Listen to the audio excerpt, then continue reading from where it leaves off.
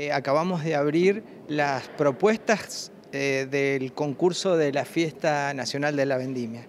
Eh, la propuesta artística, el guion, la puesta en escena, el diseño escenográfico. Seis equipos se, se han presentado a esta instancia y a partir de ahora un jurado de 18 personas van a estar trabajando eh, evaluando estas propuestas, muy asistidos por un equipo técnico también que va a saber eh, asesorarlos. Y, la verdad que estamos muy felices porque seis propuestas no es poco.